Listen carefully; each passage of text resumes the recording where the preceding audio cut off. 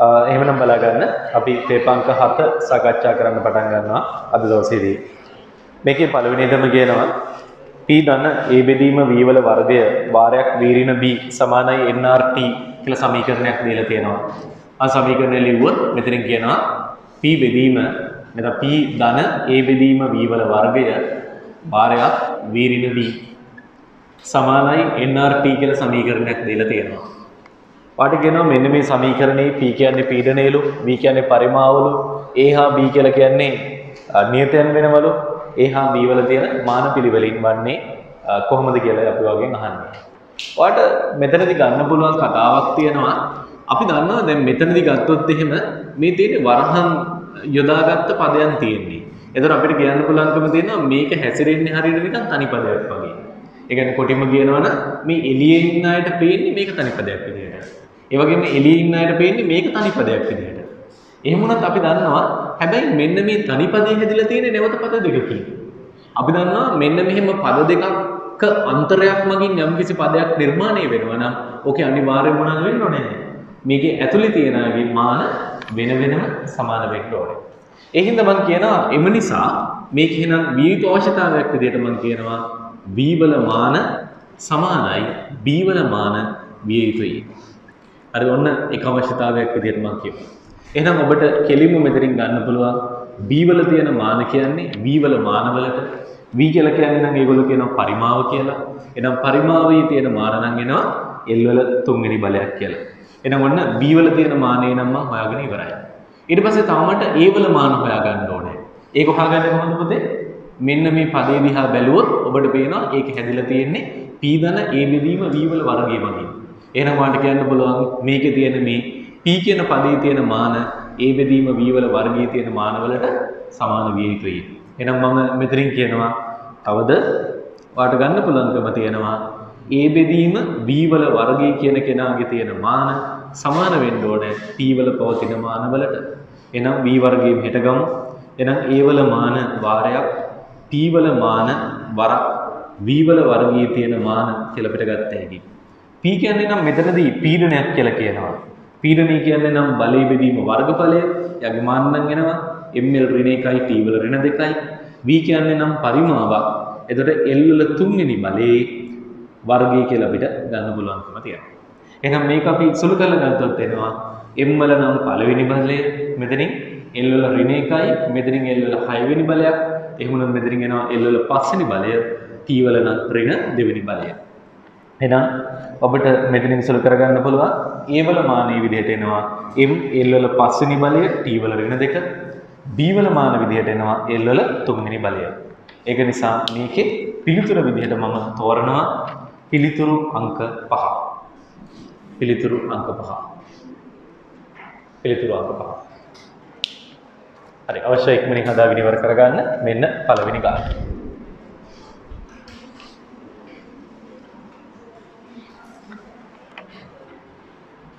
ඊට පස්සේ අපි යනවා දෙවෙනි ගානට දෙවෙනි ගානේදී ඔයාලට කියනවා ගිගාවොට් අව කියලා වෙලා ඒකකයක් වාට දීලා තියෙනවා. මෙතන දීලා තියෙනවා 1යි GWH කියලා. මේකේ අදහස මොකක්ද? මේ G කියන්නේ නම් ගිගා කියන උපසර්ගය. මේ තියෙන වොට් මේ තියෙන පැය කියන එකකය. ඒ වුණොත් මම වාගෙන් අහනවා මේකට සමාන අගයක් අපි වාගෙන් ඉල්ලනවා නැත්නම් මොකක්ද මේකේ ඒකකේ සමාන වෙන්නේ කියලා අහනවා. ඒ වගේම මේක ජූල් වලට දැන් ඕකේ තියෙන විදිහට නම් එක්ක මෙයාගේ වොට් වලට සමාන වෙන්න ඕනේ. නැත්නම් මෙයාගේ ජූල් වලට සමාන වෙන්න ඕනේ. එතකොට මේකෙන් අපි උත්සාහ කරනවා වොට් කියන ඒකකයට හෝ ජූල් කියන ඒකකයට යන්න. හරිද? අපි බැලුවොත් එහෙම ඔයාලට මේකේ පේනවා මේ ගිගාවොට් අව කියලා තියෙන්නේ. එතකොට ගිගා කියන්නේ උපසර්ගයක්. නේද? එහෙනම් මම මේක චුට්ටක් ආපහු ලියන්නම් මේක. මේක මම ලියනවා එක වැඩි කිරීම ගිගා කියන්නේ නම් කාටද? Kilo mega ගිගා. ගිගා කියන්නේ 10 9 වෙනි බලයක් වොට් පැය කියලා අපිට ගන්න පුළුවන්කම තියෙනවා.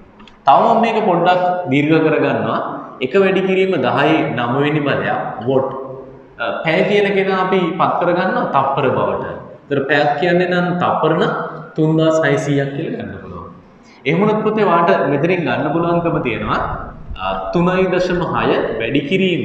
ඒතර මෙතනින් එනවා 10 3ක් මේකේ 10 9යි. එහෙනම් ඔක්කොම 10 12 වෙනි බලයක් මොනවාද? වොට්ටප්පර කියලා එනවා. අපි දන්නවා මෙන්න මේ වොට්ටප්පර කියන්නේ කාටද පුතේ? ක්ෂමතාවේ වැඩි කිරීම කාලය. එතකොට අපි දන්නවා වොට්ටප්පර කියන ඒකකය කියන්නේ නැත්නම් අපි ඕනනම් පැත්තකින් කුරුට ගා ගමු. පොඩ්ඩක් මම මේ මෙතනින් කුරුට ගා ගන්නම් පැත්තකින්. එහෙනම් මේ මෙතන තියෙනවා කවුරු කියලාද? මේ කියන්නේ ක්ෂමතාවය වැඩි කිරීම කාලය. හරි එහෙමනම් ඔබට මෙතනින් ගන්න පුළුවන්කම තියෙනවා ක්ෂමතාවය කියලා කියන්නේ නම් කාර්ය ප්‍රමාණය බෙදීම ගත වෙලා තියෙන කාලය මේක වැඩි කරන්න ඕනේ කාලය මගින්. නේ එහෙනම් ওই කාලයට කාලය කැපිලා ගියපුවම මේ කියන්නේ කාර්යයක් කියලා එන්නේ. ඒ කියන්නේ කොටිම කියනවා නම් මෙන්න මේ වොට්ටප්පර කියන ඒකකෙ මගින් මැනෙන්න ඕනේ කවුරු ගැනද? කාර්ය ප්‍රමාණයක් ගැන මැනෙන්න ඕනේ. එවන් නැත්නම් ශක්ති ප්‍රමාණයක් ගැන. ඒ කියන්නේ මෙයාට වැටෙන්න ඕනේ මොන ඒකකේද? ජූල් කියලා වැටෙන්න ඕනේ. ඒ හින්දා මම මෙතනින් කියනවා මෙයාට එහෙනම් වැටෙන්න ඕනේ 3.6 වැඩි කිරීම 10 12 වෙනි බලයක් ජූල් කියලා වැටෙනවා හරි. හරිද? එතකොට මේකේ පිළිතුරක් විදිහට එහෙනම් තියෙනවා හතරවෙනි උත්තරේ පිළිතුරු විදිහට අපිට බාර ගන්න පුළුවන්. හරි. වැඩි ඉවර කරගන්න. ඊට පස්සේ මම යනවා තුන්වෙනි ගානට. තුන්වෙනි ගානේදී කියනවා සරල රේඛීය මාර්ගයක ගමන් කරන වස්තුක විස්ථාපනයේ S කාලයේ t සමග වෙනස් වන ආකාරය S සමානයි k1t ධන k2t වල වර්ගය සමීකරණය මගින් නිරූපණය කරනවලු. k1 බෙදීම k2 රාශියේ මාන වන්නේ කුමක්ද කියලා අහනවා. නේද? එහෙනම් මම මේකේ සමීකරණය ලියාගෙන මොකක්ද කරන්න ඕනේ කියලා පියොට්ට කල්පනා කරලා බලමු. එහෙනම් එනවා S1 සමානයි k1t ධන k2 t වල වර්ගය කියලා අපිට ගන්න හැකියි. මගෙන් ඉල්ලන්නේ K1 බෙදීම K2 කියන කෙනා තමයි ඉල්ලන්නේ. හරි. මම හිතනවා මුලින්ම මේකේ මාන ලියලා ගන්නවට වඩා හොඳ වෙයි නිකම්ම අපි මේකේ මේ පද ටික වෙන වෙනම පොඩි අඳුර ගැනීමක් කරලා ඊට පස්සේ පිළිතුරකට ගියා නම් හොඳ වෙයි කියලා මට හිතෙනවා. මට මෙන්න මෙහෙම ගත්ත හැකියි. මම කියනවා මෙන්න මේ සමීකරණය මාන ඇසුරෙන් සලකනවා. මෙන්න මේ සමීකරණයේ මාන ඇසුරෙන් සැලකීමක් කරොත් එහෙම පුතේ ඔබට මෙතනින් කියන්න පුළුවන් නේද S වල තියෙන මාන සමානයි K1 වාරයක් T වල මාන වලට කියලා ගත්ත හැකි නේද? එහෙම වුණොත් අපිට මේ මෙතනින් ගන්න පුළුවන්කම තියෙනවා පුතේ K1 වල තියෙන මාන නම් එනවා කවුරු කියලාද? S වල මාන බෙදීම T වල මාන කියලා.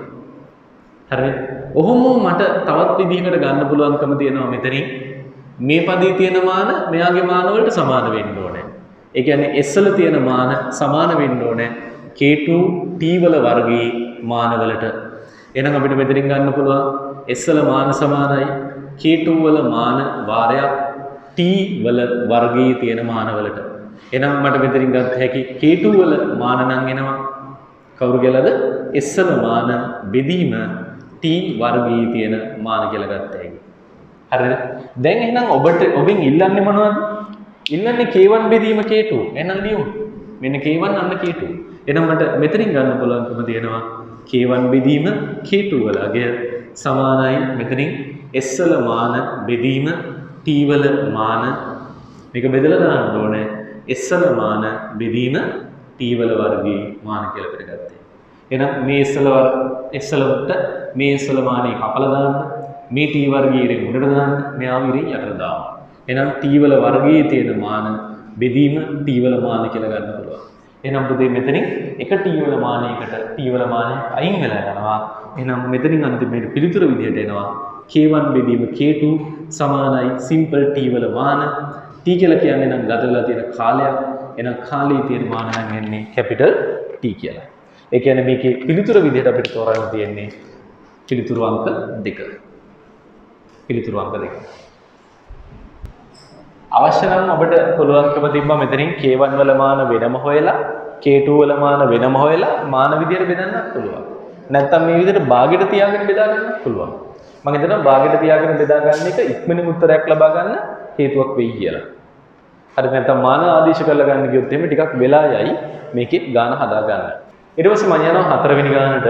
මෙන්න හතරවෙනි ගාන පහත සඳහන් විද්‍යුත් ධාරා පිළිබඳ මිනුම් අතරින් අවම ප්‍රතිශත දෝෂයක් සහිත මිනිම වන්නේ කුමක්ද කියලා අහනවා. එහෙනම් වාට මෙතනදී මතක් වෙන්න ඕනේ ප්‍රතිශත දෝෂයට අදාළ සමීකරණය.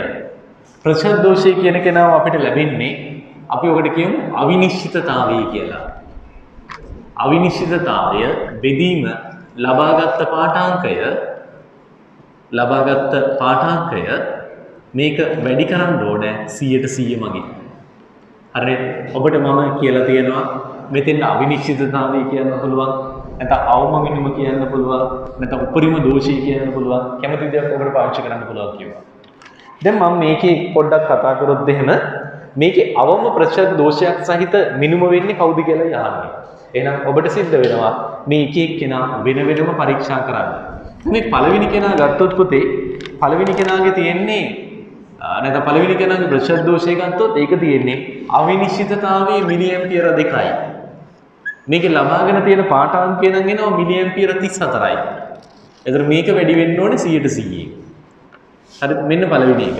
ඊට පස්සේ දෙවෙනි එකට ගියොත් එහෙම වාට පේනවා මේකේ නම් ඉන්නේ අවිනිශ්චිතතාවය නම් 0.1 මිලියන කියලා. මේකේ ලබාගෙන තියෙන පාඨාංකයේ විදිහට නම් එනවා 0.6 මිලියන් කියලා. මේක වැඩි වෙන්න ඕනේ 100ට 100න්. හරි ඊට පස්සේ අපි තුන්වෙනි එකට ගියොත් එහෙම තුන්වෙනි එකට ගියොත් එහෙම කියනවා මේකේ අවිනිශ්චිතතාවය එන්නේ දශම බිඳුවයි දෙකයි වෝල්ට්. මේක බෙදලා ගන්න ඕන 1.5යි දෙකයි වෝල්ට් වලින්. මේකත් වැඩි වෙන්න ඕනේ 100ට 100. ඒතර ওই විදිහට තමයි ප්‍රෙෂර් දෝෂයෙන් ලබා ගන්නෙ. හතරවෙනි එකට ගියොත් එහෙම ඒක නම් එන්නේ එක බෙදීම 241 වැඩි කිරීම 100ට 100 කියලා එන්නේ. හරිද? ඊට පස්සේ අපි පස්වෙනි එකට ගියොත් එහෙම ඒකේ නම් ප්‍රතිශත දෝෂය ඉන්නේ 0.5 බෙදීම 18යි දශම බිඳුව වැඩි කිරීම 100ට 100යි කියලා යන්නේ. දැන් ඔබ මේ ටික වෙන වෙනම පොඩ්ඩක් සුළු කරලා බැලුවොත් එහෙම නැත්නම් ඔබට පුළුවන් පොඩ්ඩක් ඇහැ දාලා බලන්නත් පුළුවන් මේකටනේ. පොඩ්ඩක් ඇහැ දාලා බැලුවොත් එහෙම ආඩ වෙනවා මේකට වඩා මේක කුඩයි. මේ කියන්නේ එක බෙදීම 63යි කියලා. මේ කියන්නේ දෙක බෙදීම 152යි වගේ. මේ කියන්නේ එක බෙදීම 254යි. එතකොට එක බෙදී මේකට වඩා මේක කුඩයි කියලා ඔබට අදහසක් ගන්න පුළුවන්. හරි නේද වැඩි? ඊට පස්සේ ඒකට වඩා මේකත් කුඩයි කියලා අදහසක් ගන්න පුළුවන්. ඊට සාපේක්ෂව මෙයා ගත්තොත් එහෙම මේකට වඩා මේක ලොකුයි. ඒ හින්දා ප්‍රතිශත දෝෂයේ අවම කෙනා බවට මම ගන්නවා මෙන්න මේ උත්තරේ. ඒක නිසා පිළිතුර විදිහට මම අංක 4 බාර ගන්නවා ප්‍රතිශත දෝෂය අවම කෙනා විදිහට මෙයා තමයි එන්නේ. අර ඒ වගේ තැනකදී පොඩ්ඩක් සංසන්දනය කරලා බලන්න. නිකම් ඔක්කොම සුළු කරන්න ඕනේ නැහැ. මෙතන ගත්තොත් එන්නේ එක බෙදීම නැත්නම් දෙක බෙදීම 34යි. මෙතන ඉන්නේ එක බෙදීම 63යි. ඒකට මෙයාට වඩා මෙයා කුඩායි. ඊට පස්සේ මෙයා ගත්තොත් දෙක බෙදීම 152යි. ඒ කියන්නේ දල වශයෙන් 76ක් විතර වගේ. ඒතර එක බෙදීම 76 වගේ. මේකට වඩා මේක කුඩායි. මෙතන තියෙන එක බෙදීම 241. මීටත් වඩා මේක කුඩායි. ඒ හින්දා මේ සෙට් එකේම කුඩා මෙයා. ඊට පස්සේ මෙයා ඉන්නේ සංසන්දනය කරනවා. සංසන්දනය කරපුවම අපිට පේනවා මේකට වඩා මේක කුඩයි කියලා. හරිද? එතකොට සුළු කිරීම නොකර උත්තරයකට යන්න ඒ වගේ තැනකට උත්සාහ කරන්න. ඊට පස්සේ අපි යනවා පස්වෙනි ගානට. අපිට කියනවා පාසල් විද්‍යාගාරයේ පරීක්ෂණාගාරයක මිනුම් උපකරණයක් මගින් 46.27 මිලිමීටර පාඨාංකයක් ලබා දුනි. ඉහත මිනුම ලබා ගැනීමට භාවිතා කරපු උපකරණයේ විය හැක්කේ කුමක්ද කියලා අහනවා. දැන් මේ වගේ ගැටලුවක් විසඳන්න යනවා නම් ඔබට අයිඩියා එකක් තියෙන්න ඕනේ උපකරණයක තියෙන අවම මිනුම සහ උපරිම මිනුම සම්බන්ධව. දැන් අපි මේකේ තියෙන කොටස් ටික ගත්තොත් වර්නියර් කැලිපරේ ගත්තොත් වර්නියර් කැලිපරේ ගත්තොත් මෙයාගේ තියෙන අවම මිනුම ඉන්නේ 0.1 මිලිමීටර කියලා. ඒ වගේම මේකේ තියෙන උපරිම මිනුම ගත්තොත් එහෙම ඒක නම් එනවා දල වශයෙන් සෙන්ටිමීටර 10ක් විතර වගේ එවන් නැත්නම් මිලිමීටර 100ක් විතර වගේ තමයි උපරිමයටම මයින්න පුළුවන්. ඊට පස්සේ අපි ඊළඟට කතා කරන ස්ක්‍රූප් ආමානය. ස්ක්‍රූප් ආමානය ගත්තොත් එහෙම මේකේ අවම මිනුම නම් එන්නේ 0.1 මිලිමීටර. මේකේ උපරිම මිනුම විදිහට නම් එනවා සෙන්ටිමීටර දෙකමාරක් නැත්නම් මිලිමීටර 25ක් විතර වගේ. ඊට පස්සේ මීටර රූල ගත්තොත් මීටර රූල ගත්තොත් මෙන්න මේ මීටර රූලේ අවම මිනුම නම් එන්නේ 1 මිලිමීටර. මේකේ උපරිම වශයෙන් අපිට බලවන්කම තියෙනවා සෙන්ටිමීටර 100ක් ඒ කියන්නේ මිලිමීටර නම් 1000ක් යනකම් යන්න. ඊට පස්සේ මම යනවා ගෝලමානය. ගෝලමානය මෙන්න මේ ගෝලමානය ගත්තොත් පුතේ අපිට පුළුවන්කම තියෙනවා යාගෙන් 0.1 මිලිමීටර අවම මිනුමක් සහිතව ඕනනම් මිලිමීටර 10ක් විතර වගේ යනකම් මයින්න පුළුවන්කම තියෙනවා.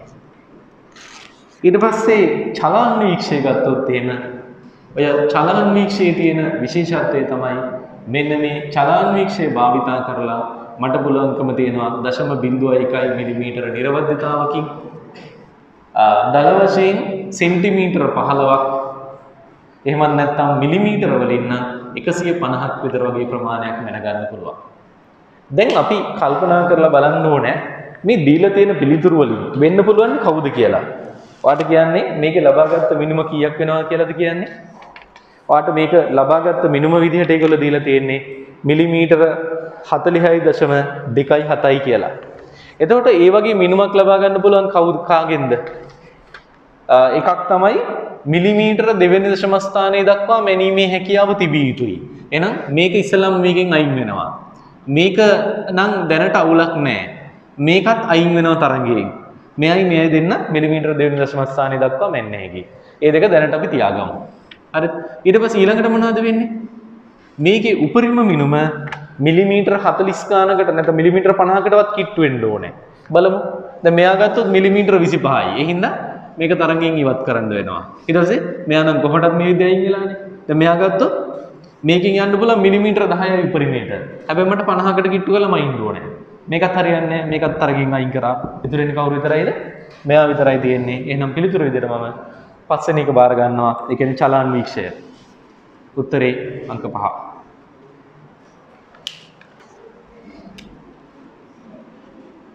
ඊට පස්සේ මම යනවා 6 වෙනි ගානට.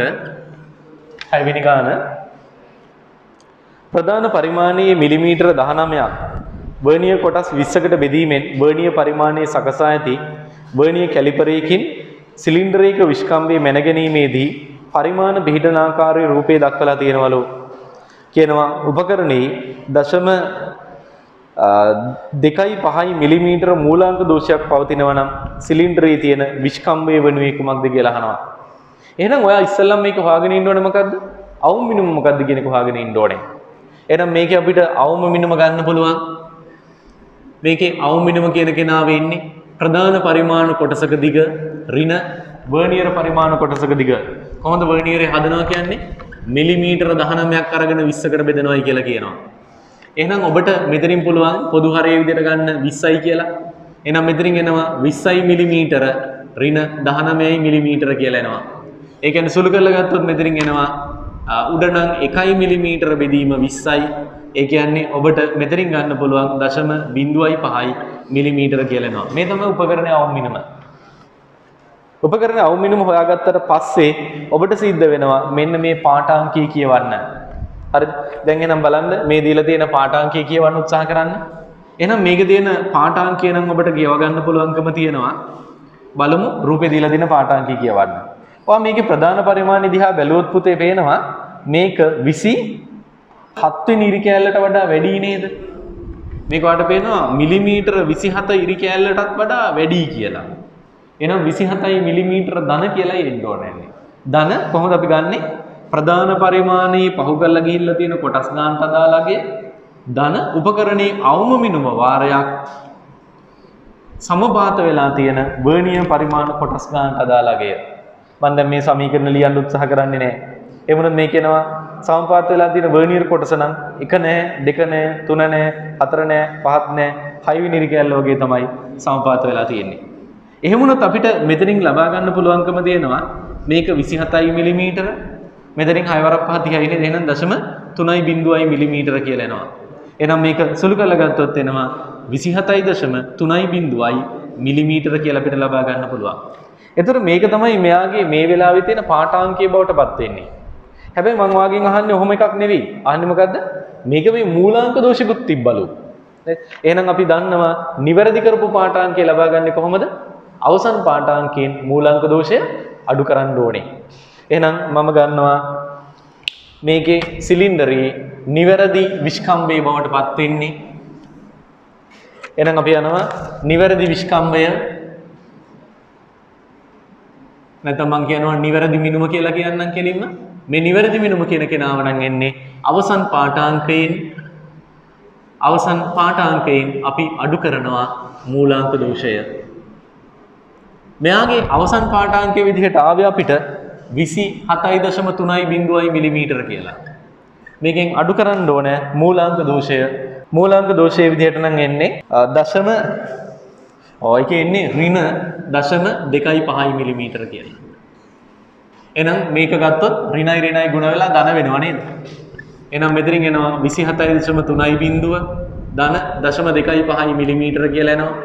ඒක නිසා මෙයා උසුළු කරලා ගත්තොත් එනවා 27.5යි පහයි මිලිමීටර කියලා එනවා. ඒ හින්දා මම අ, පිළිතුර විදිහට ගන්නවා 27.5යි පහයි. ඒ කියන්නේ පස්වෙනි එක තමයි පිළිතුර විදිහට මම බාරගන්නේ.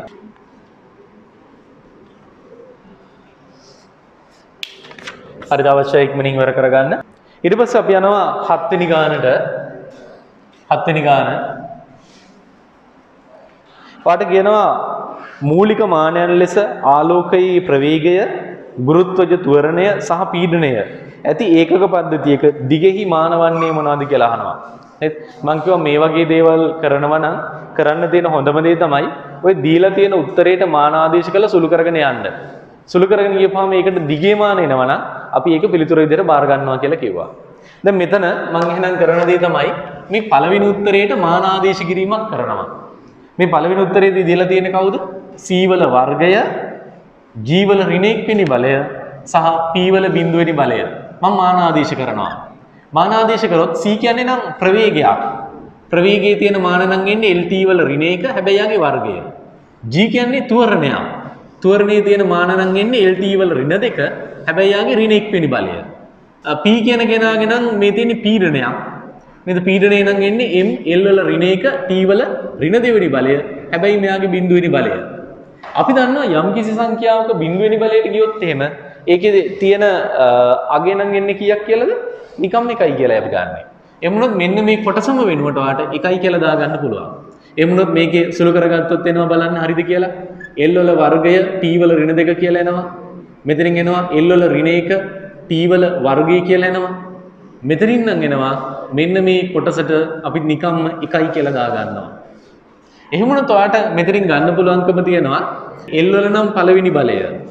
මේකේ T වලට ගියොත් නම් මෙතනින් ඍණ දෙකයි මෙතනින් එන්නේ ධන දෙකයි කියලා. එහෙම වුණොත් ඔක සුළු කරපුවාම නැවත T වල බිඳුවෙනි බලය කියලා එනවා. හරිනේ. එහෙනම් ඔබට මෙතනින් එනවා T වල බිඳුවෙනි බලය කියන්නේ නැවත එකයි කියලා ගත්තොත් ඔයාට ගන්න පුළුවන් මෙන්න මෙයාගේ තියෙන මේ මානය නම් එනවා L කියලා. ඒ කියන්නේ කොටින්ම කියනවා නම් දිගේ මානය තමයි ඔන්න පළවෙනි එකේ මානය විදිහට එන්නේ. මට අවශ්‍ය වෙලා තියෙන්නේ දිගේ මානය දෙන කෙනා කවුද කියලා හොයාගන්න ඕනෙන්නේ. එහෙනම් පළවෙනි එකෙන් මේ කතාව සම්පූර්ණ වෙලා තියෙනවා. ඒක නිසා මම පිළිතුර විදිහට අංකික තෝරනවා.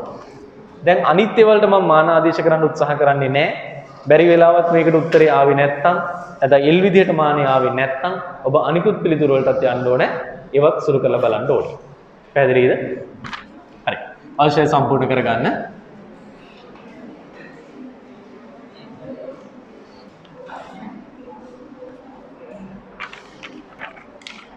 හරි.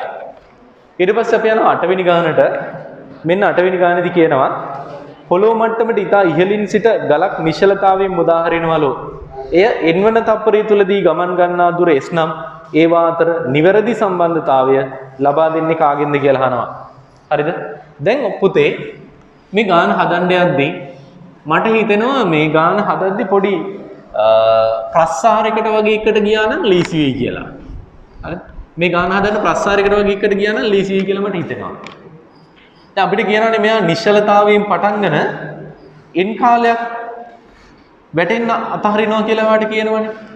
හරිද? ඊට පස්සේ කියනවා එන්වන තප්පරයේ තුල ගමන් ගන්නා දුර S නම් නේද? එහෙනම් අපි කොහොමද මේ එන්වන තප්පරය ගන්න?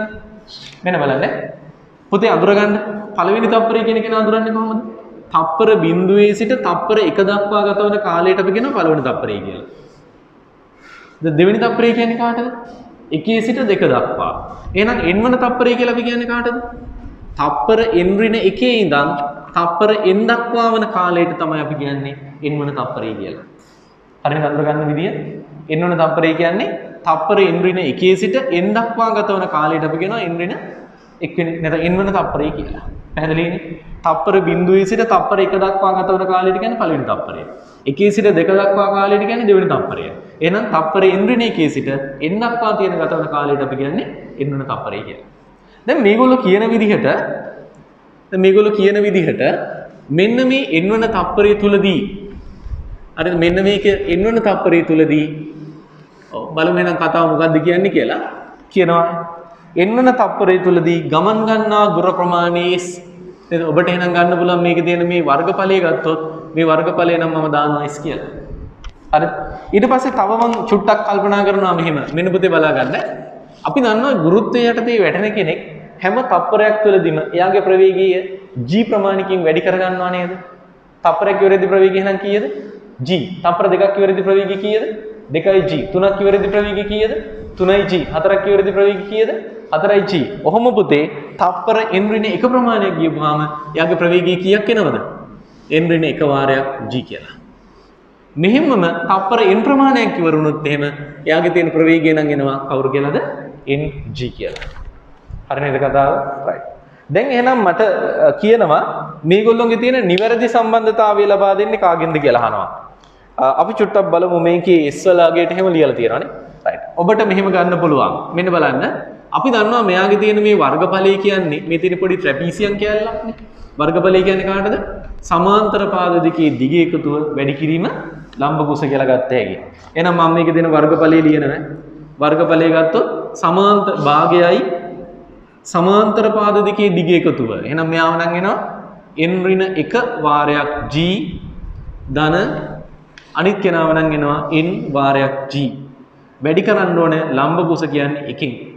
එහෙනම් අපි මේක සුළු කරලා ගත්තොත් මෙතනින් එනවා භාගයේ වාරයක් මෙතනින් සුළු කරපුවාම එනවා පුතේ කවුරු කියලාද මේකෙන් ng කෙනෙක් එනවා මෙතනින් ng කියලා එනවා මෙතනින් ඍණ g කියලා එනවා. එහෙනම් දෙකයි ng ඍණ g කියලා අපිට ලබා ගන්න පුළුවන්. එහෙනම් දැන් ඔයාලට පුළුවන්කම තියෙනවා මෙන්න මෙතනින් සම්බන්ධතාවයක් ගත්ත හැකි බලන්න පුතේ. මේක තමයි වර්ගඵලය. වර්ගඵලය කියන්නේ s. එහෙනම් දැන් s ලාගේ නම් එනවා. කවුරු කියලාද? මෙහෙම කරමුද? මේ භාගයේ වාරයක් මෙතනින් ගන්න. දෙකයි n ඍණ 1 වාරයක් g g එළියට ගත්ත g කියන කෙනා මම දාගත්ත 10යි කියලා. හරිනේ කතාව? වැරද්දක් නැහැ මේ g එළියට දැම්මා. g කියන්නේ 10යි කියලා ගත්තා. දැන් ඒගොල්ලොන්ගේ උත්තරේ විදිහට තියෙන්නේ මේක සුළු කරගන්න පුළුවන් 2ට 1යි 10ට 5යි කියලා එනවා. එහෙනම් සුළු කරපුවාම s ලාගේ නම් එනවා 5 වාරයක් 2යි n ඍණ 1 කියලා එනවා. එහෙනම් මේක තමයි උත්තරේ විදිහට මම තෝරන්නේ. එමුණොත් පිළිතුර අංක එක විදිහට මම මෙතනදී තෝරනවා. පිළිතුර අංක එක විදිහට තෝරනවා. හරි අවශ්‍යයි ඉවර කරගන්න. හරි. ඊට පස්සේ අපි යනවා 9 වෙනි ගානට. right. අපි යනවා 9 වෙනි ගානට කියනවා බෝලයක් මීටර 30ක උසක සිට 5 m ශ්‍රේණියකක ප්‍රවේගයෙන් සිරස්ස පහළට සමයන් සිරස්ස ඉහළට ප්‍රක්ෂේපණය කරනවලු. ඒ පොළොවට නැවත පැමිණීමට ගතවන කාලය වනුවේ. නේද? එතකොට මෙන්න කියන කතාව. ඔබ බැලුවොත් ඔබට මේකේ පේනවා කියනවා මේගොල්ලෝ මේ වස්තුවක් පොළොවේ සිට මීටර 30ක් උසක සිට තප්පරයට මීටර 5ක ප්‍රවේගයෙන් නේද 5 මිශ්‍රණ ඒකක ප්‍රවේගයෙන් සිරස්ස ඉහළට ප්‍රක්ෂේපණය කරනු ලැබේ. රෝමහම් ගිල්ලා අපව වෙලා වැටෙනවානේ. ඊට පස්සේ කියනවා එය පොළොව වෙත නැවත පැමිණීමට ගතවන කාලය කීයද කියලා යහන්න. දැන් එහෙනම් ඔබට ගන්න පුළුවන්කම තියෙනවා මේකේ දත්ත ටික ගමු.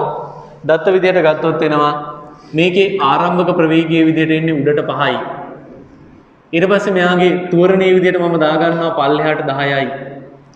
එස් විදිහට මම දාගන්නවා මේක යනවා පල්ලෙහාට මීටර 30ක්. මගෙන් අහන්නේ පොළොව වෙත එන්න ගත වෙලා තියෙන කාලය. සාමාන්‍ය විදිහට ඔබට පුළුවන් සමීකරණයක් දාන්න. එහෙමනොත් ඔබට ගන්න පුළුවන් මෙතනින් මොකද්ද පුතේ දාන්න හොඳ වීනදි සමීකරණයකට යමු. වීන සමීකරණයක් විදිහට මම යනවා s සමානයි ut ධන භාගයයි at වල වර්ගය කියන සමීකරණයට. එහෙමනොත් ඔබට මෙතනින් ගන්න පුළුවන්කම තියෙනවා වාට මං කියලා තියෙනවා ගුරුත්වයට තේ චලිතය ගැටලු විසඳද්දී අනිවාර්යෙන් යොදන දිශාව දක්වන්න කියලා. මම මේක පල්ලෙහාට කියලා දෙනවා. එහෙමනොත් s ලාගේ විදිහට නම් එන්නේ පල්ලෙහාට නම් ධන 30යි u ලාගේ විදිහට නම් එනවා මෙතනින් ඍණ 5යි t ධන භාගයයි ඒ විදිහට නම් එනවා 10යි සිම්පල් t වල වර්ගය. එහෙමනම් මෙතනින් මට ගන්න පුළුවන්කම තියෙනවා 30 සමානයි ඍණ 5යි t ඊට පස්සේ ධන 5යි t වල වර්ගය කියලා එනවා. එහෙම වුණොත් දැන් ඔබට සිද්ධ වෙනවා මේක විසඳන්න. මේක විසඳුවොත් එනවා කීයක් කියලාද? හැමෝම පහින් කපලා මේක වර්ගජ ප්‍රකාශනයක් විදිහට ගමු. ගත්තොත් එනවා t වල වර්ගය ඍණ t ඊට පස්සේ ඍණ මෙතනින් කැපුවොත් 6නේ 6 සමානයි බිඳුවක් කියලා එනවා. එවනම් මේක අපි කොහොමද හදාගන්නේ? t වර්ගය ඍණ 3යි t ධන 2යි t ඍණ 6 සමානයි බිඳුවක් කියලා අපිට ගත්ත එක. හරිනේද පුතේ ගත්ත විදිහ? හරි. දැන් එහෙනම් ඔබට පුළුවන්කම තියෙනවා මෙතනින් මෙන්න මේ පද දෙකකින් t කෙනෙක් එළියට ගන්න. එමුණත් මෙතනින් එනවා t ඍණ 3යි. මෙතනින් මේ දීලා තියෙන පද දෙකෙන් මම දෙකක් එළියට ගන්නවා. එමුණත් මෙයා වෙනවා t ඍණ 6 සමානයි බිඳුවයි. එමනම් ඔබට පුළුවන් සමායන මේකේ දෙකක් මං එළියට ගත්තේ. එමුණත් t ඍණ 3යි කිව්ව හැකි. එමුණත් මෙන්න මේ පද වලින් ඔබට පුළුවන්කම තියෙනවා t ඍණ 3 කියන කෙනා එළියට ගන්න. එමුණත් මෙතනින් එනවා t ධන 2යි කියලා එනවා. සමානයි බිඳුවයි. එහෙමනම් දැන් ඔබට මෙතනින් කියන්න පුළුවන්කම තියෙනවා මේ අනුව කියන්න පුළුවන් එක්කෝ මේකේ t ඍණ 3 සමානයි බිඳුව. එහෙමත් නැත්නම් මේකේ t ධන 2 සමානයි බිඳුව වෙනවා. එහෙමනොත් ඔබට මෙතනින් කියන්න පුළුවන් t වලගේ සමානයි 3යි තප්පර හෝ එහෙමත් නැත්නම් t වලගේ සමානයි ඍණ 2යි තප්පර වෙනවා. ඒ කියන්නේ අපිට මෙන්න මේ පිළිතුර නම් බැහැර කරන්න වෙනවා.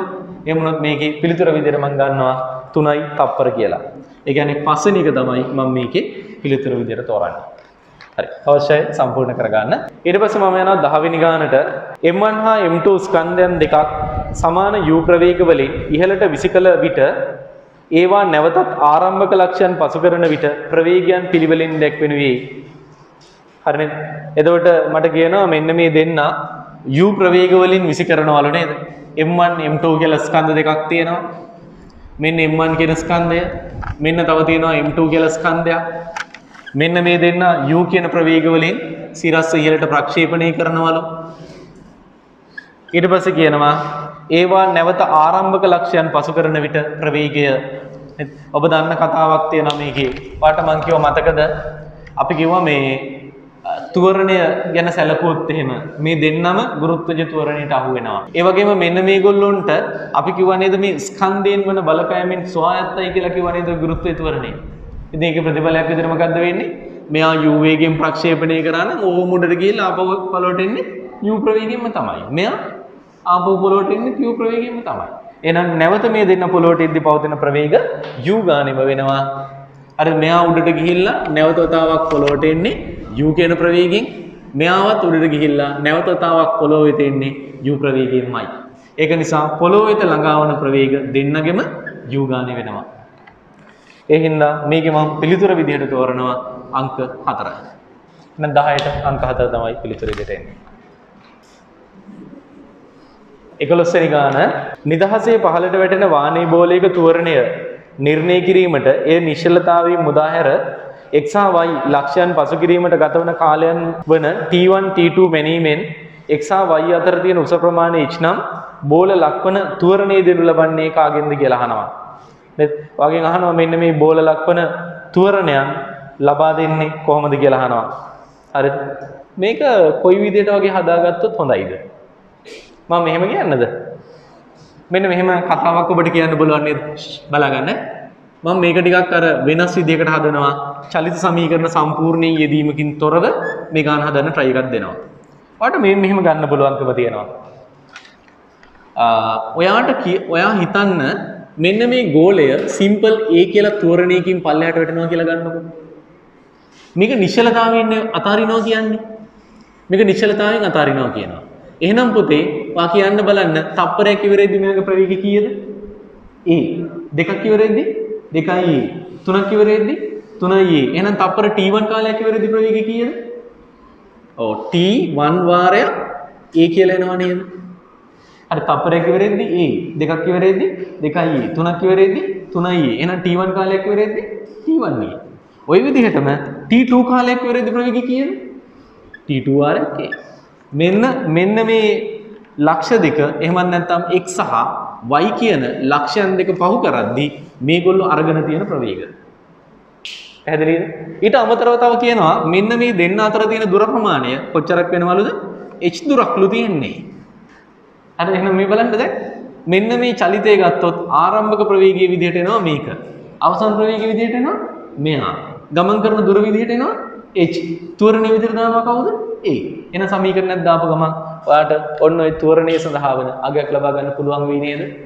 හරි නේද ගන්න විදිය? right. දැන් එහෙනම් අපි යනවා මේකේ ගත්තොත් පුතේ මෙන්න මේ x y කියන චලිතයට යනවා. xi කියන චලිතයට ගියොත් එහෙම දත්ත විදිහට මම දාගන්නවා ආරම්භක ප්‍රවේගයේ විදිහට දාන්නේ t1 වාරයක් a.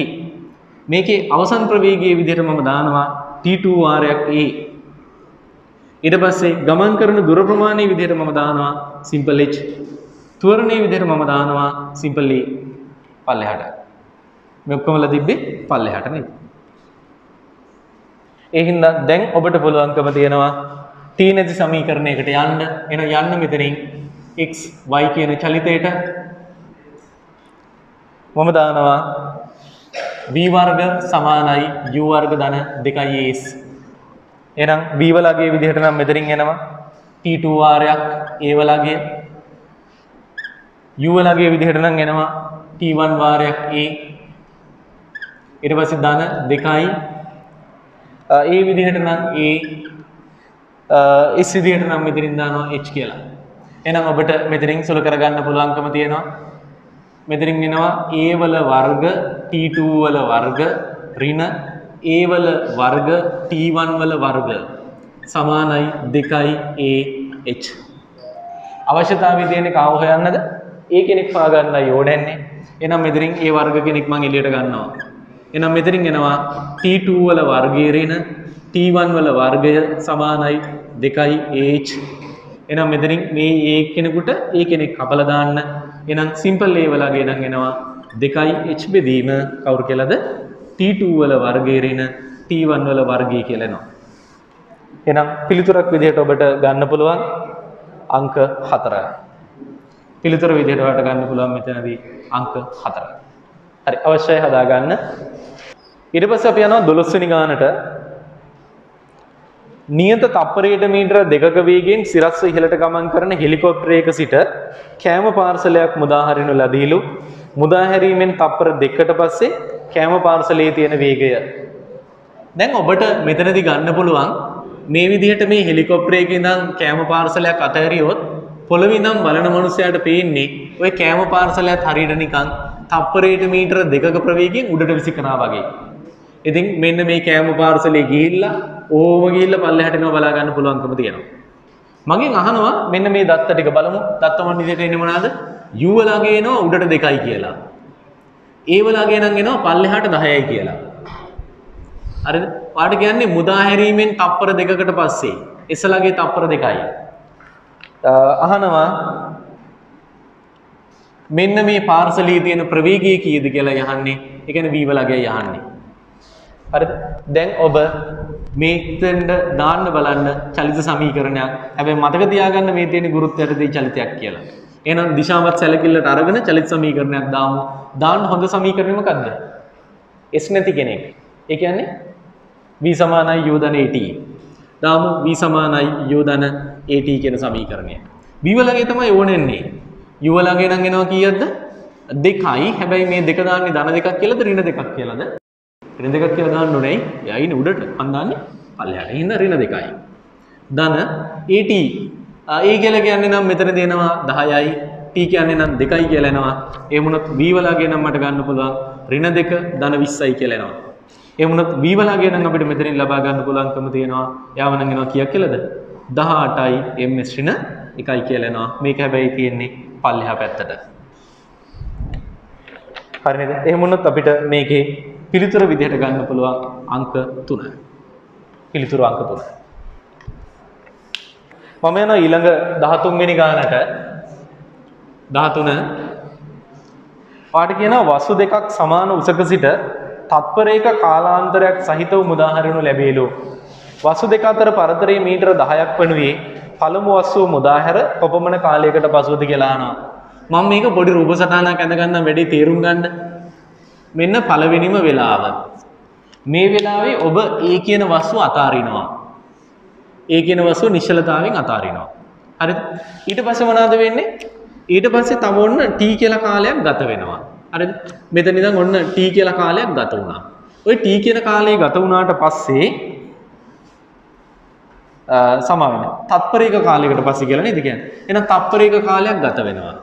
ඔන්න තත්පරයක කාලයක් ගත වුණාට පස්සේ කරන්නේ අපි අපේ දෙවනි වස්තුව මුදා හරිනවා. හරි තත්පරයක කාලයක් ගත වුණාට පස්සේ දෙවනි වස්තුව මුදා හරිනවා. එහෙම වුණොත් පුතේ පළවෙනි වස්තුව මේ වෙද්දි පල්ලෙහාට මෙහෙම ගමන් කරමින් ඉන්නේ. හරිද පළවෙනි වස්තුව මෙහෙම ගමන් කරමින් ඉන්නේ. දැන් අපේ දෙවනි වස්තුව මෙතනින් මුදා හැරීමක් කරනවා. හරි ඊට පස්සේ මේගොල්ලෝ කියනවා යම් කිසි තව කාලයක් ගත වෙනවා මං හිතන්නේ තව ටී කාලයක් ගත වුණා කියලා ඔන්න ඔය ටී කාලයක් ගත වුණාට පස්සේ දෙන්න අතර නිර්මාණය වෙන පරතරය ගැන ඒගොල්ලෝ කියනවා මීටර 10යි කියලා. හරිද? ඒ කියන්නේ දැන් කළු පාට බෝලේ මේ හරියේ ඇති දෙවෙනිට මුදා හැරපු කෙනා පළවෙනියට මුදා හැරපු කෙනා මේ හරියේ විතර ඇති. හැබැයි මේ වෙලාවේ දෙන්න අතර තියෙන පරතරය නම් මීටර 10ක් වෙනවා. මං අහනවා ඔන්න ඔහොම වෙන්න නම් වෙන්නේ පළවෙනි පස්සුව මුදා හැරලා කොච්චර කාලයකට පසුවද කියලා අහනවා. හරිද පුතේ? මං එහෙනම් මෙහෙම කරන්නද? මගේ අතේ ඕක වරදින්න පුළුවන් ඈ. මොකද මම සමහර වෙලාවට ඔය ටී කියලා දාලා හදලා ගත්තාම දැන් ඇත්තටම ගත්තොත් මෙතනදී අහන්නේ ටී ගැන දහන්නේ අන්තිම උත්තරේට නැත්නම් ටී දන එක දහන්නේ. ටී දන එක අහන්නේ පළවෙනි වස්තුව මුදා හැරපු වෙලාවෙ ඉඳන් මෙතන ගත වන කාලය අහන්නේ. ඒ හින්දා මම මෙහෙම වැඩක් කරන්නද? මම මෙන්න මේ මුළු කාලයට දාන්නම් ටී කියලා. එමුණත් මෙන්න මේ කාලාන්තරයට මන් දානවා කීයක් කියලාද? තීරණ එකයි කියලා. හරිද? මොකද මංගේ ගැන මං ඉතා හොඳින් දන්නවා. නැත්තම් මං කරන්නේ ওই උත්තරය ආවට පස්සේ නේද ඇදලා අරිනවා එක. ඊට පස්සේ ගෙදර ඇවිල්ලා බලපුවම තමයි මට තේරෙන්නේ T නෙවෙයි T දන එක ඉල්ලලා තියෙන්නේ කියලා. ඒ හින්දා කෝකටත් ඔතෙන් මං තීරණ එකයි කියලා දාගත්තා. කමන්නේ නැහැ. හරිද වැඩි? right. දැන් එහෙනම් අපි වැඩේට බහිමු. දැන් කොහොමද පුතේ ගන්නේ? ඔබ හිතන්න මේ දෙවනි ගෝලයේ මේ වෙද්දි ඔය තීරින එක ගෙන කාලය තුලදී ගමන් කරපු උස ප්‍රමාණය සිම්පල් h කියලා ගන්නකො. දැන් වාට පුළුවන්ද? මේ කළු පාට බෝලේට එමන් නැත්නම් උකට මං B ගෝලය කියලා දාන්න. ඔන්න ඔය B ගෝලයට ඔබට චලිත සමීකරණයක් දාන්න පුළුවන් නේද? B ගෝලේ ආරම්භක ප්‍රවේගය කීයද? බිඳුවයි. B ගෝලේ ගමන් කරපු දුර කීයද? h. ගත වෙච්ච කාලය කීයද? තීරණ එකයි. තුවරණී කීයද? G නැත්නම් ගුරුත්වයේ තුවරණය. ඊට පස්සේ අනිත් ගෝලයටත් ඔහොම දාන්න පුළුවන් නේද? හරි නේද පුතේ? එහෙනම් මෙන්න මම යනවා. මම යනවා අතරින් ඔය තියෙන A ගෝලයේ සලකනවා. මෙතනින් තියෙන A ගෝල ඉස්සලම අපි යමු B ගෝලයට. මෙතනින් තියෙන B ගෝලයේ සලකනවා. B ගෝලයට ගියොත් පුතේ මේකේ ආරම්භක ප්‍රවේගයේ විදිහට එන්නේ බිඳුවයි. තුවරණයේ විදිහට එනවා පල්ලෙහාට ගුරුත්වජ තුවරණය. මේකේ S විදිහට දාගන්න පුළුවන්කම තියෙනවා පල්ලෙහාට H ගත වෙච්ච කාලයේ විදිහට මම දාගන්නවා තීරණ එක. දැන් එහෙනම් මේ අය අතර තියෙන සම්බන්ධයක් හැදුව හැකි. මේකේ සම්බන්ධතාවය නම් එනවා පල්ලෙහාට S සමානයි UT ධන භාගයයි AT වල වර්ගය කියලා. සම්බන්ධතාවය ලියන්න ගියොත් එහෙම S ලාගේ නම් මම දැම්ම H කියලා. U වලගේ නම් බිඳුවයි ඒකින්ද මේ පදේ බිඳුවයි භාගයයි ඒ වලට නම් එන්නේ 10යි කියලා. එතකොට භාග්‍ය වාරයක් 10 කියන්නේ 5යි කියලාම ගෙලින්ම දාන්නනේ. 5යි තීරණ එකේ වර්ගය. තීරණ එකේ වර්ගය. හරි නේද පුතේ? right. දැනට ඔහොම තියමු. ඊට පස්සේ මම යනවා මෙතනින් මේ තියෙන ඒ ගෝලී චලිතය සලකනවා. ඒ ගෝලයට. ඒ ගෝලයට ගියොත් එහෙම එයාගේ දත්ත නම් මොනවද එන්නේ? ආරම්භක ප්‍රවේගයේ බිඳුවයි තුවරණයේ විදිහට එන්නේ පල්ලෙහාට 10ක් කියලා.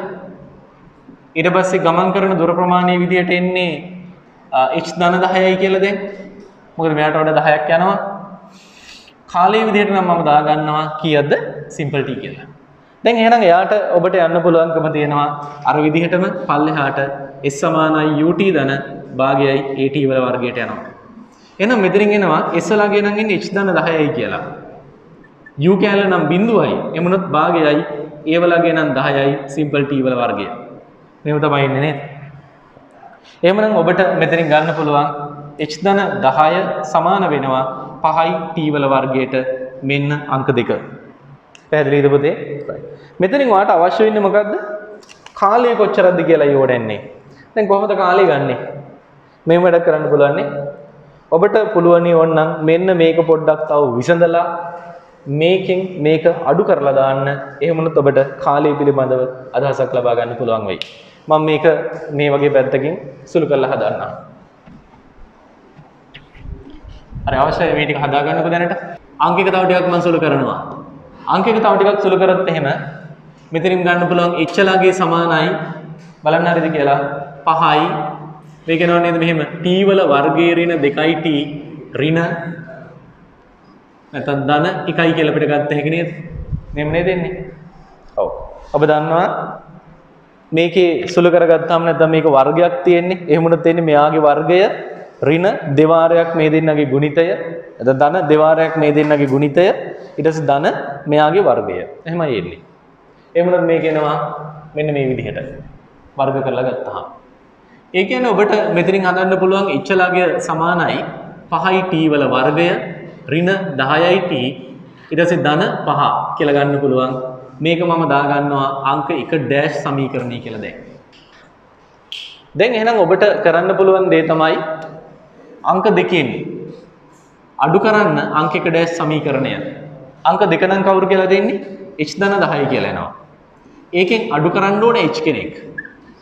සමානයි මෙතනින් එනවා 5යි t වල වර්ගයෙන් මම අඩු කරලා දානවා 5යි t වල වර්ගය ඍණ 10යි t ධන 5 කියලා.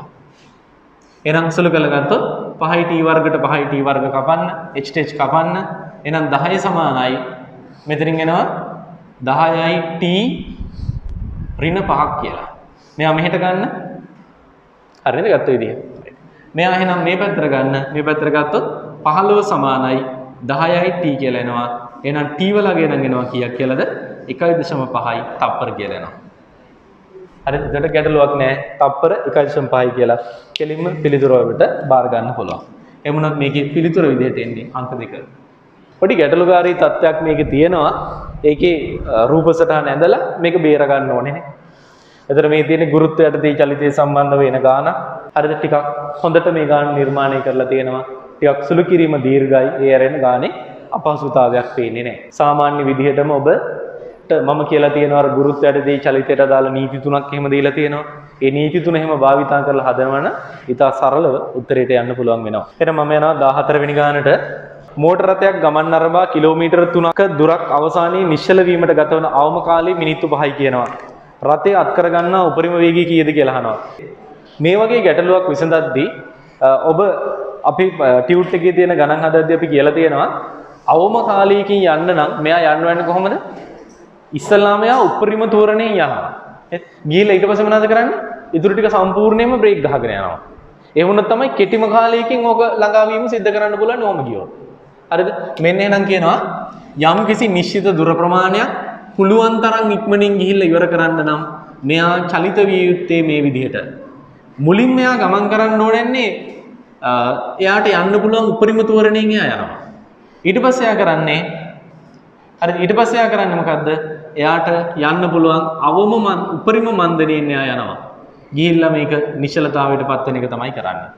පැහැදිලි නේද වැඩේ? රයිට්. දැන් එහෙනම් මෙන්න එයාගේ චලිතයට අදාළ වෙන චලිත ප්‍රස්සාරය නැත්නම් ප්‍රවේග කාල ප්‍රස්සාරය. හරිද පුතේ? රයිට්. දැන් මම ඔයාලට මේක දීලා තියෙන දත්ත ටික අරගෙන දෙන්නම්. මේකේ දත්ත විදියට කියනවා අවම කාලයේ මිනිත්තු 5යිලු. මිනිත්තු 5ක් කියන්නේ තප්පර නම් එනවා පස්සරක් 60යි කියලා. වෙන කාලේ. මේ වෙලාවේ සිද්ධ කරලා තියෙන මුළු විස්ථාපනය නම් ඔබට කියනවා මීටර 3000ක් කියලා. හරිනේ. එහෙනම් දැන් වාගෙන් අහන්නේ ප්‍රවේගය නේද? බැරි වේද පුතේ ප්‍රවේගය හොයන්න? මේ දෙන්නේ ත්‍රිකෝණයක් නේ. අපි දන්නවා ත්‍රිකෝණයක නම් වර්ගඵල එනවා කාගෙන්ද? භාගයයි ආධාරක පාදයේ වැඩි කිරීම ලම්බ කුස කියලා. ලම්බ කුස නේද ඉල්ලන්නේ? එහෙනම් ඔබට මෙතනදී ගන්න පුළුවන් මේකේ තියෙන වර්ගඵලය නම් එනවා භාගයයි ආධාරක පාදය වැඩි කිරීම ලම්බ කුස. එහෙනම් මෙතනින් පස්සරක් 60 වැඩි කිරීම ලම්බ කුසට නම් v කියලා දාගන්න. වර්ගඵලයට නම් අපි දානවා 3000 සමානයි භාග්‍ය වාරයක් පස්සරක් 60 වරක් v කියලා දානවා. එහෙනම් මේ බිඳුවට මේ බිඳුව කපන්න පුළුවන්. 6 වරක් 1යි 6 වරක් 5 30යි එහෙමනම් මේක 50යි කියලා එනවා. 50ට නම් මෙතනින් 10යි 5ට 1යි මෙයා මෙතෙන්ද ගන්න. එහෙමනම් v වලගේ නම් එනවා තප්පරයට මීටර 20ක් කියලා. ඊට පස්සේ අපි යනවා 15 වෙනි ගානට 15 වෙනි ගාන සිම්පල් h උසක සිට මුදා හරින ලද වස්තුවක් බිමට පතිත වීමට සිම්පල් t කියලා කාලයක් ගත වෙනවලු. ඒකාකාර ප්‍රවේගයකින් ඉහළ යන උත්තෝලකයක් තුලදී මෙම වස්තුව මුදා හැරිය විට එය තුල සිම්පල් h උසක් වැටීමට ගතවන කාලයේ t1 වන අතර එම ප්‍රවේගයෙන්ම පහළට යන උත්තෝලකයක් තුලදී වස්තුව මුදා හැරියොත් h උසක් වැටීමට ගතවන කාලයේ t2 වෙනවලු. මේවා අතර සම්බන්ධතාවය කොහොමද ලැබෙන්නේ කියලා අහනවා. මෙන්න ඔබට කියන කතාව මම මේක කෙලින්ම උත්තෝලකයකම කතාව දාගෙන රූප සටහන ඇඳලා වැඩි පැහැදිලි කර ගැනීම කරගන්නවා. හරි මෙන්න පුතේ බලන්න. කියනවා මේ උත්තෝලකයක් තියෙනවලු එච්චුසක සිට බුදාහරින ලද වස්තුවක් බිම පතිත වීමට ටී කාලයක් ගත වේ. හිතන්න මෙහෙම. මෙහෙම මොකක් හරි ස්ටූල් එකක් හරි මම කර දිනනවා. හරි. ඒක උඩේ ඉඳන් මම මෙන්න වස්තුවක් මුදා හරිනවා. හරි. මේ වස්තුව එච්චුසක ඉඳන් මම මේ වස්තුව මුදා හැරියොත් නිශ්චලතාවයෙන් මුදා හරින්නේ මේක ඇවිල්ලා පොළවේ වදින්න ගත වෙනවලු සිම්පල් ටී කියලා කාලයක්. හරිද කතාව? ඊට පස්සේ මේගොල්ලෝ කියනවා ඒකාකාර ප්‍රවේගයෙන් ඉහළ යන උත්තෝලකයක් තුලදී එම වස්තුව මුදා හැරියහොත් මොකද්ද වෙන්නේ එතකොට? ඒකාකාර ප්‍රවේගයෙන් ඉහළ යන උත්තෝලකයක් ඇතුලේ මෙයාව මුදා හරින්න ලැහැස්සිලු. එහෙම වුණොත් මොකද්ද පුතේ වෙන්නේ?